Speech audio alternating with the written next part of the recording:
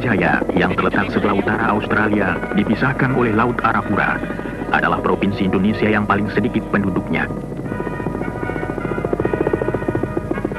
Alamnya keras dan kejam, terdiri dari payau pantai yang meninggi menjadi puncak gunung 4.800 meter tingginya.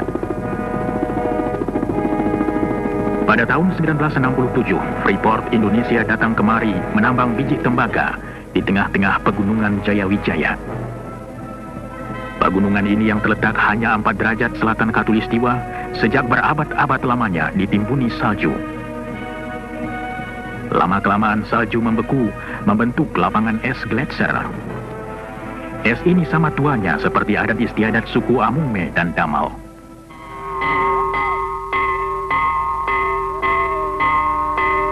Kita tak tahu apabila dataran tinggi Irian Jaya mulai dihuni. Mungkin 20 ribu, mungkin 30 ribu tahun yang lalu. Penduduk dataran tinggi yang hidup terpencar dalam dusun-dusun kecil berhasil menyesuaikan diri dan bertahan hidup. Mereka berhasil mengatasi kekejaman lapangan dan menciptakan cara hidup sederhana bermartabat. Mereka yang berakar adat lama dan dituntun pandangan masa lalu, kini mulai berubah. Beberapa penduduk desa mulai sadar akan adanya dunia yang lebih luas. Pada tahun 1981, Gunung Biji Timur mulai menghasilkan biji tembaga yang berkadar tinggi. Pertambangan bawah tanah yang baru melanjutkan rencana eksplorasi dan pengembangan sumber mineral yang dimulai tahun 1967. Penjelajahan pertama Freeport dalam wilayah ini terjadi tatkala Forbes Wilson memimpin sebuah ekspedisi ke pegunungan Jayawijaya. Tujuannya mencari sebuah gunung tembaga, Erzberg, yang ditemui seorang ahli geologi Belanda, Jan Dozi, pada tahun 1936.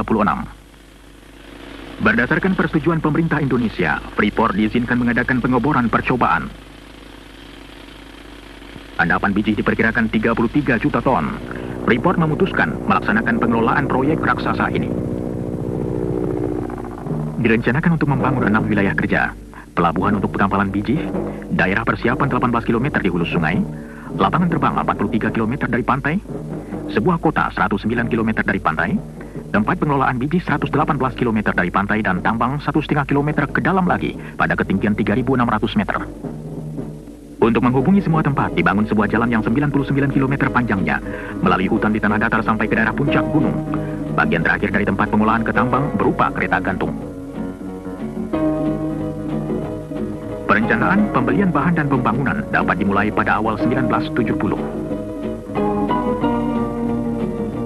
Kemah satu menjadi tempat bermulanya proyek. Sebelum dapat dibangun basis yang tetap di pedalaman, peralatan dan bahan untuk pegunungan diberangkatkan dari Kemah satu.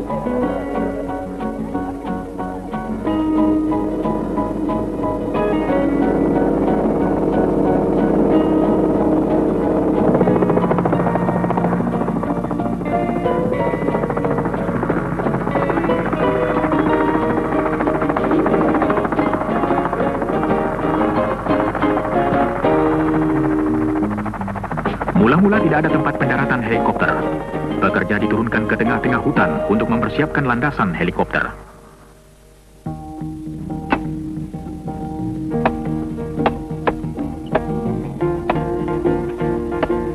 Sembilan belas perkemahan dibangun sepanjang daerah pembangunan, disusul kemah barang menurut kemampuan logistik. Logistics. If we needed a pound of nails, the closest hardware store was 600 Logistik miles. bila kami memerlukan paku setengah kilogram maka toko yang paling dekat di Darwin, 1000 km seberang laut Arafura. In 22 years of construction, I've been all over the world, and I've yet to see a place equal to this. Selama 22 tahun saya bekerja di bidang pembangunan, baru kali ini saya lihat daerah macam ini. Tiap hari hanya 4 jam cuaca baik. Selebihnya hujan, hujan es atau kabut. Usaha kami yang terpenting ialah agar semua tempat mudah dicapai. Seperti itu jembatan gantung yang kami bangun melintasi tebing. Sebelumnya 45 menit untuk sampai. Sekarang cukup jalan kaki 10 menit ke tempat tinggal. Beban paling berat yang dapat diangkut helikopter ialah 800 kg. Dan tim helikopter sangat berjasa dalam usaha membawa barang-barang untuk kami.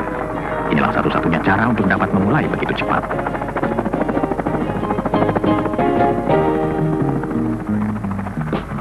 Helikopter ini mensuplai 15 perkemahan gunung dengan makanan, muatan dan alat-alat besar untuk membangun jalanan yang 104 km panjangnya.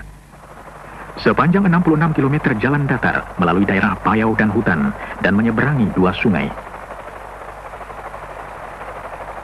Kemudian jalan nanjak berbelok-belok sepanjang 36 km melalui punggung gunung terjal yang perlu digali atau diratakan agar tanjakannya tidak lebih dari 20 persen.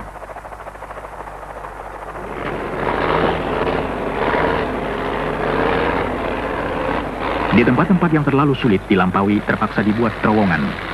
Yang satu 1300 meter panjangnya terowongan Hanekam dan yang satu lagi 800 meter terowongan Zakam. Konstruksi kedua terowongan seluruhnya ditunjang helikopter.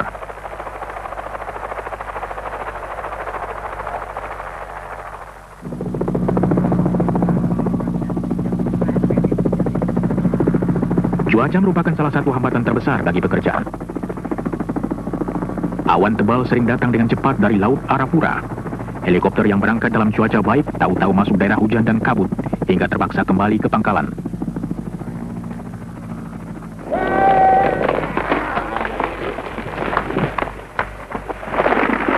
Untuk kayu, pekerja-pekerja cukup mengambilnya dari hutan sekitarnya.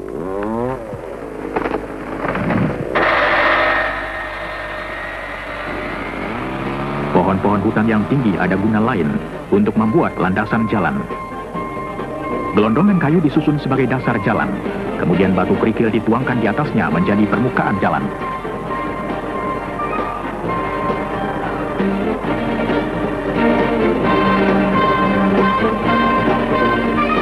Waktu jalan siap, pengangkutan beralih dari helikopter ke truk.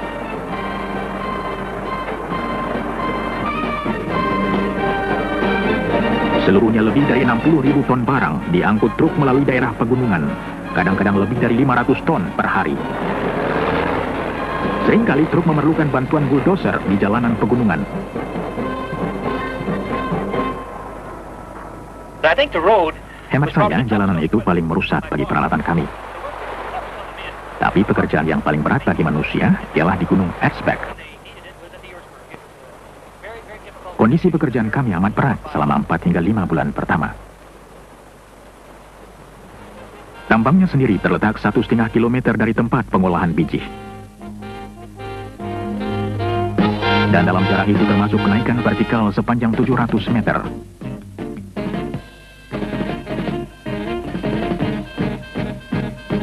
Mula-mula kedua tempat dihubungkan dengan kawat yang mengangkut pekerja dan barang-barang ringan.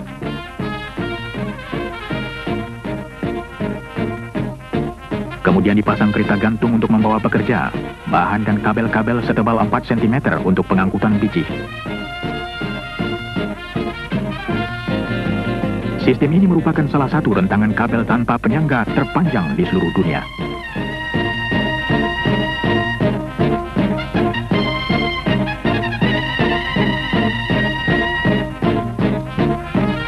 Pembangunan tempat pengolahan biji mempunyai tantangannya sendiri dari cuaca buruk dalam alam keras sampai batas waktu dan masalah logistik.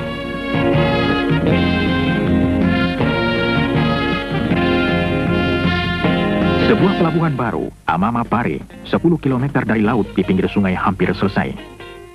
Semua fasilitas bandar laut modern harus dibangun, dari tongkang-tongkang dan tambatannya sampai alat pembawa barang dan pemuat kapal.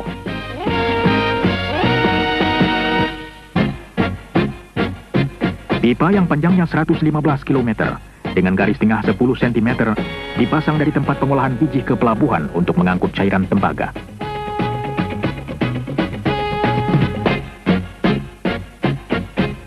Cairan kental endapan tembaga dalam pipa dipompa mula-mula untuk melewati punggung gunung.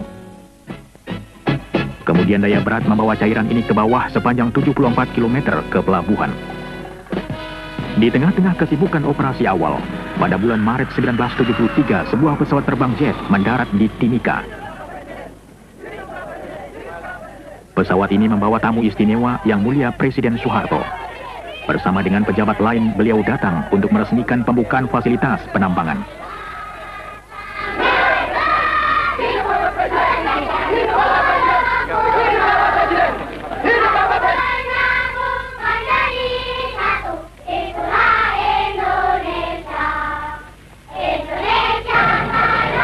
Suatu upacara resmi, Presiden Soeharto mengatakan bahwa usaha ini merupakan pelopor penanaman modal asing di Indonesia.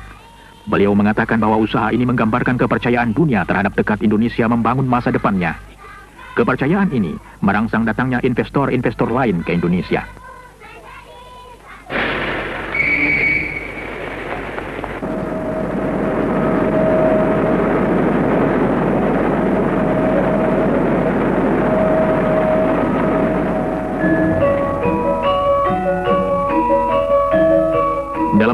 Upacara lain, Presiden Soeharto mendapat hadiah dan beliau membuka selubung batu kenangan kota Tembagapura.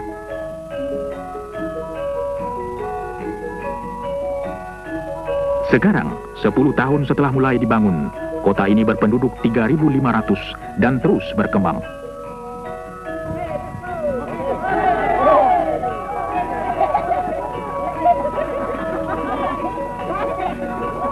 Tembagapura memiliki semua fasilitas kehidupan modern, masjid dan gereja, jawatan pemadam kebakaran, toko, tempat makan, pabrik roti dan kantor perjalanan.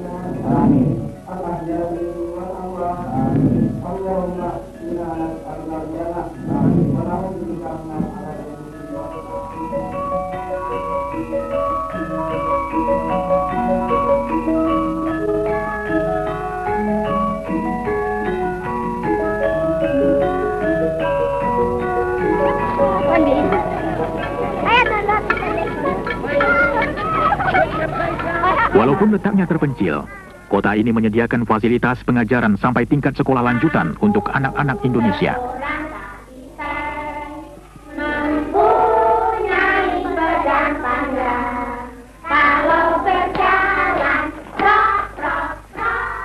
Klinik bayi dan jasa kesehatan lain disediakan untuk pegawai dan keluarga mereka.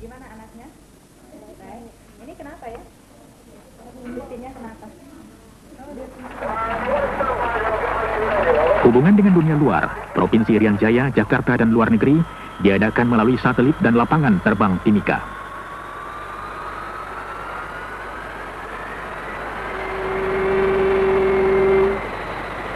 Segala sesuatu harus diimpor, diturunkan dari kapal, dan dibawa dengan tongkang kepet 11 untuk kemudian diangkut ke daerah pegunungan.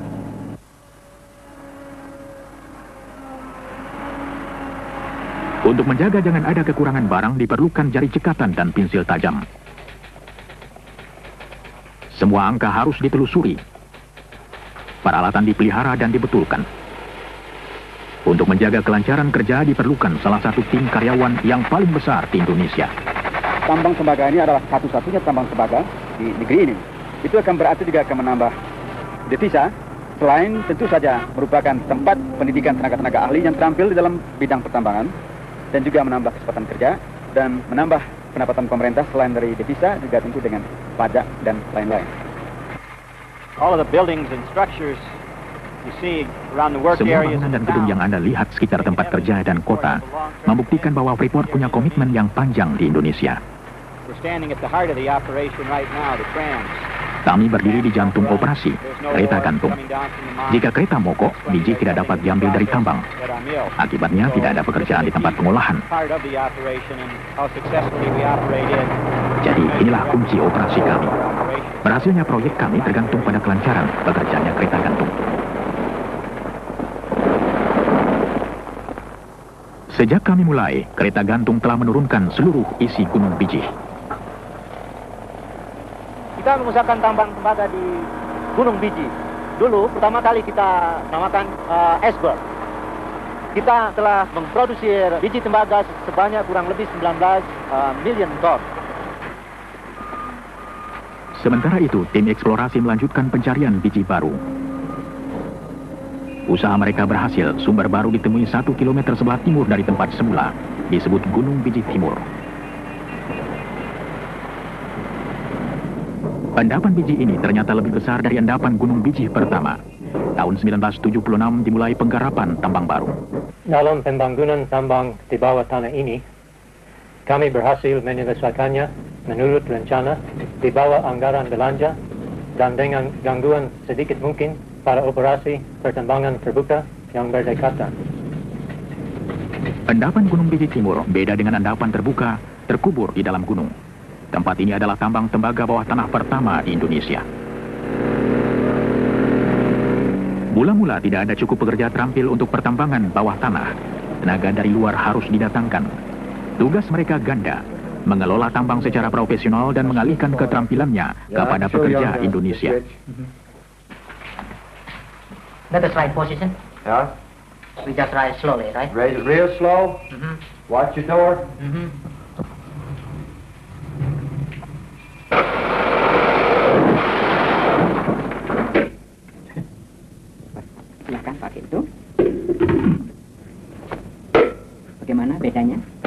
Jauh, jauh sekali. Itulah perlunya. Ini baru contoh kecil-kecil saja. ya. Selama empat tahun, penjelajahan dan perkembangan sekelompok tenaga kerja memasukkan banyak orang Indonesia yang sedang dalam latihan dan tidak pernah bekerja di bawah tanah sebelumnya. Menurut hemat saya, adalah prestasi yang luar biasa untuk mempunyai rekor keselamatan kerja yang lebih baik atau semutu dengan tambang besar yang mana saja di dunia.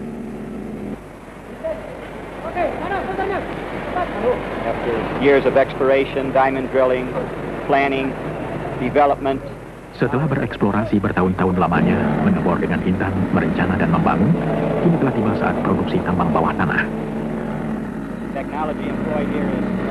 Teknologi yang dipakai sangat unik. Apalagi kalau diingat bahwa teknologi macam ini hanya terdapat di sedikit tempat lain di dunia. Dan Anda menemukannya di tempat jauh seperti Irian Jaya. Our current mining reserves indicate we'll have ongoing operations Persediaan endapan menunjukkan bahwa kami masih akan dapat beroperasi sampai 13 hingga 15 tahun lagi. Tentu saja kami terus mencari dan mengharap akan dapat endapan lain. Semua ini merupakan pertanda baik. Tidak saja untuk karyawan Freeport, tetapi untuk seluruh Indonesia. After installing the cylinder head bolts, it'll be it is good to follow the torque sequence that you found in the manual. It's important that you use Bicara mengenai transfer dari teknologi dan program Indonesianisasi dalam proyek Freeport ini, sebetulnya kedua perkataan Indonesianisasi dan transfer dari teknologi adalah identik.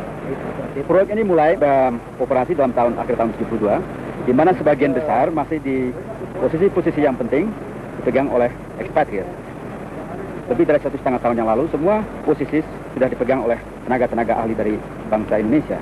Jadi saya berpendapat eh, transfer teknologi dan program Indonesianisasi suatu hal yang boleh dikatakan sukses di tempat ini.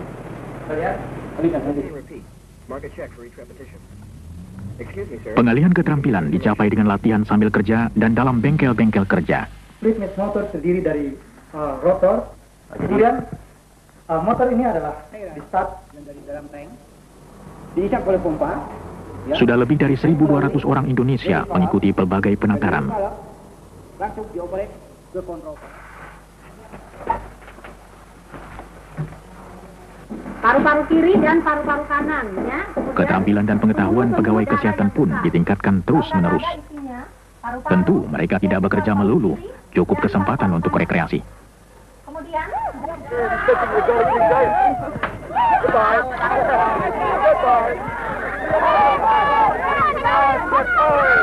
Oh,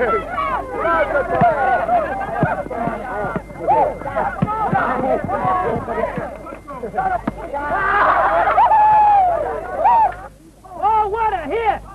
All right! Easy! Oh, second ball!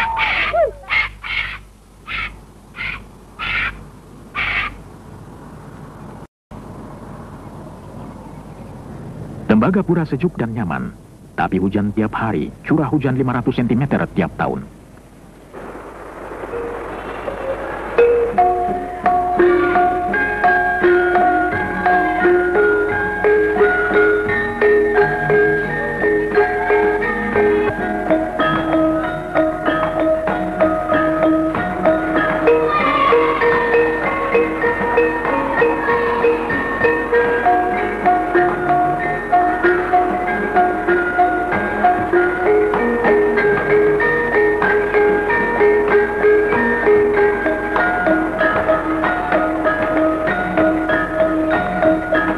Semangat tak luntur dan pekerjaan proyek jalan terus.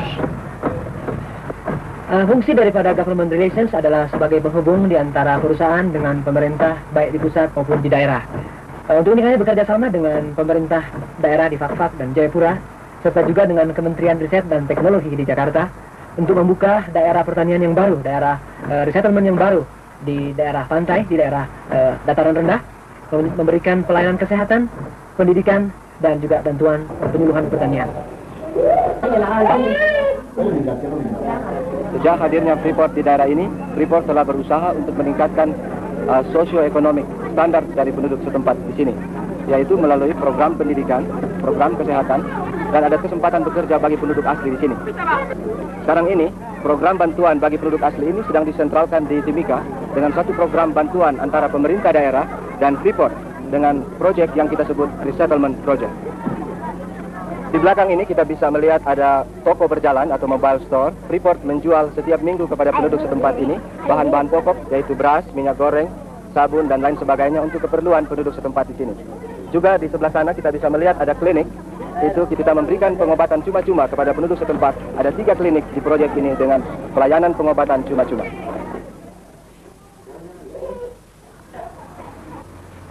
Para perawat dari Rumah Sakit Tembagapura mengunjungi klinik-klinik beberapa kali seminggu untuk mengobati penduduk asli.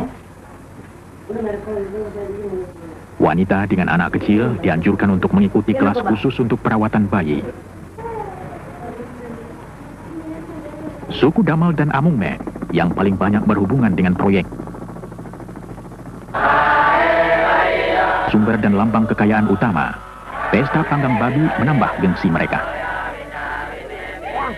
Perusahaan membagi-bagi benih pangan baru pada mereka dan mengajar cara bertani yang lebih produktif. Hasilnya, gizi mereka bertambah baik dan untuk pertama kali, hasil pertanian mereka dapat dijual.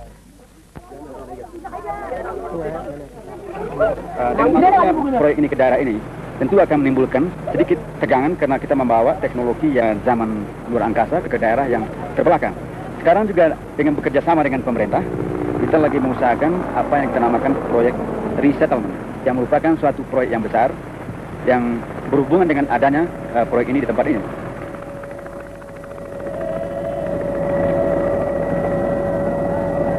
Uh, Model 7, uh, Victor Bravo Romeo. We're overhead 74 now, making approach to the Earthsburg. Persediaan biji dalam Gunung Bijih Timur diperkirakan dapat bertahan sampai 15 tahun. Untuk mengelola tambang tersebut diperlukan sistem penggalian yang rumit yang disebut block caving. Block caving can be described Block caving dapat digambarkan dengan mencungkir balikkan tambang terbuka, menjatuhkan biji melalui terowongan, untuk kemudian diambil dan diangkat ke permukaan tanpa banyak kerja tambahan.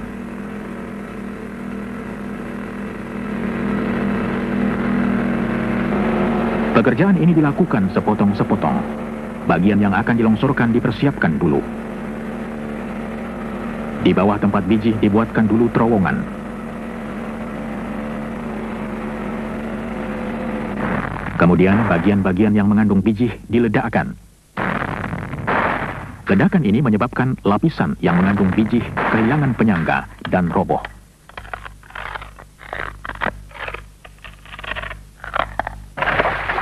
Jatuhnya di terowongan-terowongan yang sudah dipersiapkan.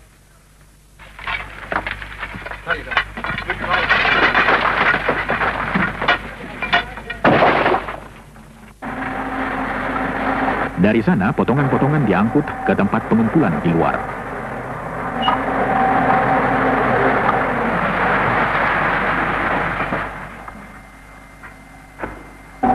Potongan yang jatuh menyebabkan bagian lain kehilangan penyangga dan terjatuh juga ke dalam terowongan. Serangkaian penghancuran yang teratur dan berencana menciptakan proses pelongsoran terus-menerus.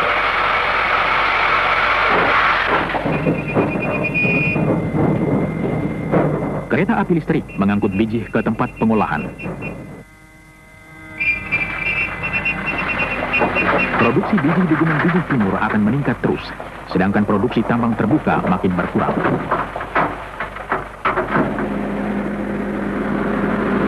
Biji kasar dari kedua tambang dibawa ke tempat penghancuran yang sama.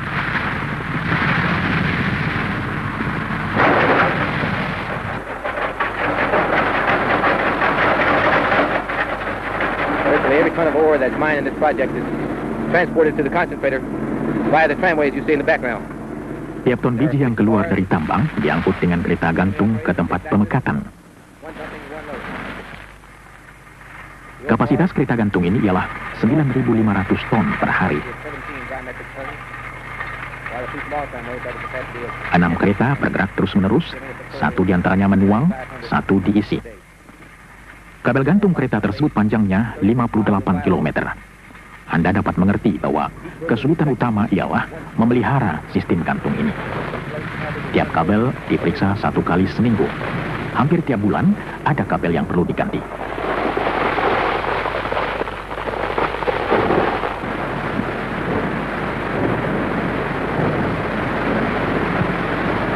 Biji dihancurkan lagi di tempat pengolahan. Kemudian ditambah air menjadi semacam cairan terdiri dari biji halus. Cairan ini kemudian diaduk keras menyebabkan munculnya buih mengandung biji.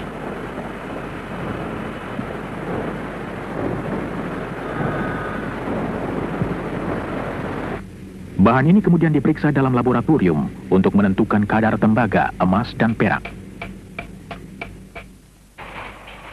96% dari tembaga yang semula terkandung dalam biji dapat dipakai.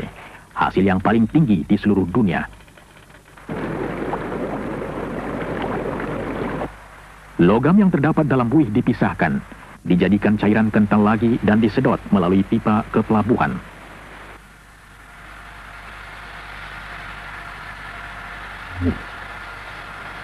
Di sana cairan dikeringkan dan konsentrat siap untuk diekspor.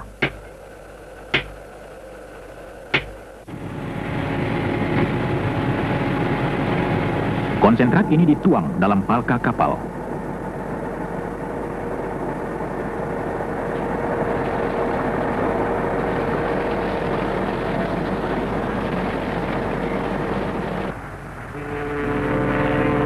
Karena muara sungai Tipuka dangkal, maka kapal hanya diisi sebagian.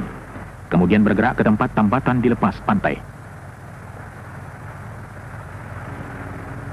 Di sana sisa konsentrat tembaga dipindahkan dari tongkang sampai kapal penuh. Juga Freeport di, mendatangkan kapal-kapal supply dari Australia yang membawa makanan, plus bahan-bahan pelumas dan onderdil-onderdil. Kemudian juga dari Singapura sekali sebulan, dan juga kapal tanker yang membawa diesel sekali sebulan. Rata-rata tonnage yang di uh, handle di pelabuhan adalah 6.300 uh, metric tons. Saya uh, datang ke Freeport sini tahun 1974 sebagai Assistant Port Superintendent dan bekerja di Amamapari, pelabuhan. Di Port Side sekarang ini, atau Amamapari, sekarang ada 300 uh, penduduk. Di situ juga terdapat uh, masjid, gereja, dan juga sekolah dengan 40 uh, anak murid. Di samping itu juga ada taman kanak-kanak.